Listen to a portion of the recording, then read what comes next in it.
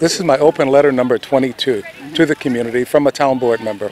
And so these are important because you're kind of giving your thoughts and ideas, not as an elected official, but it's your own personal opinions. It's my personal opinion and things that I've observed as an elected official. And so uh, we know that uh, the town board is uh, going to be dissolved January 5th, 2015, as a form of government.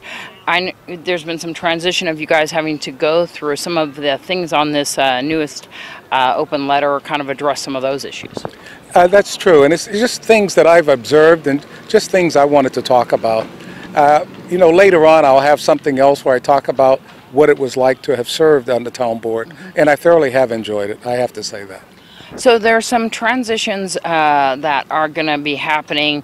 Also, uh, with uh, the budget concerns, but also you would like to see, like the town manager Susan Holecheck, keep her uh, keep a position in the town um, as some kind of function, um, and also some of the employees. Yes, when, when you talk about the, the responsibility of a town manager, to all of a sudden not have a town manager, it would be like having a town board with nobody to lead the staff. So yes, I'd like to see uh, the town manager keep her position. Somehow the commissioners, I think, can make that happen. Not sure exactly how they can do it, but I'm sure they can. And for the town staff, these are people with expertise of running a town. None of the commissioners have that experience. And the only other person that could do it would be Pam Webster, but she's, she's got her hands full with the county.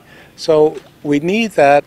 And when you talk about the staff for the town, their expertise cannot be duplicated. If we let them go, to find somebody else with that expertise, nearly impossible.